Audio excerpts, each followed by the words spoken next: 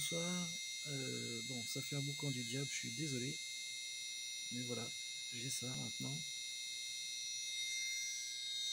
Avec euh, nouvelle installation de bobine. Et donc du coup, ben, ça continue de produire pas mal. hein. Sur 4 tubes euh, pour